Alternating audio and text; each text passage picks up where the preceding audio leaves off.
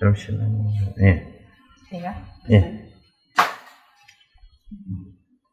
따끔합니다.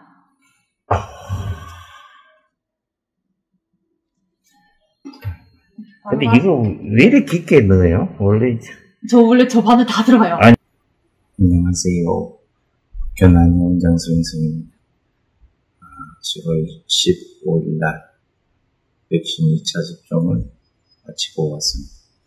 2차는 1차는 아재 백신을 맞고 2차 백신은 아재 백신을 맞았는데요.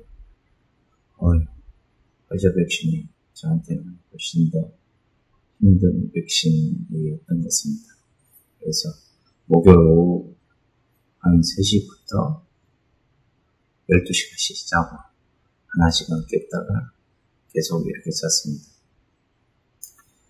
뭐 특별한 뭐 느낌은 아재 백신은 이무부 쪽으로 좀 느낌이 많았다면 아재 백신은 몸살하고 그리고 삼각근부가 너무 많이 아팠고 그리고 두통이 좀 꽤 많이 지속이 됩니다. 지금도 약간 두통이 좀 있는데 체온은 한 37.0, 37.1 뭐 이 정도고 이틀이 지나고 나니까 이제 조금 열도 좀 내리고 좀 증상도 없어지는 듯합니다.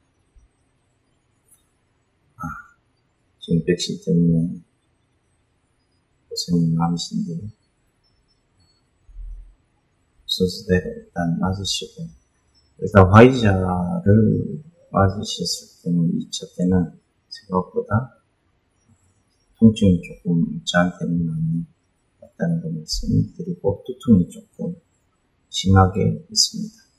그래서 진통제를 드시는 게 조금 도움이 되겠습니다. 이상입니다.